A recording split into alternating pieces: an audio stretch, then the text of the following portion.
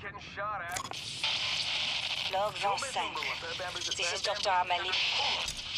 We've managed to, Alright, killed an enemy. thanks to the additional funding from Chevrex. Took. Since last week, Project Iris is off for the event.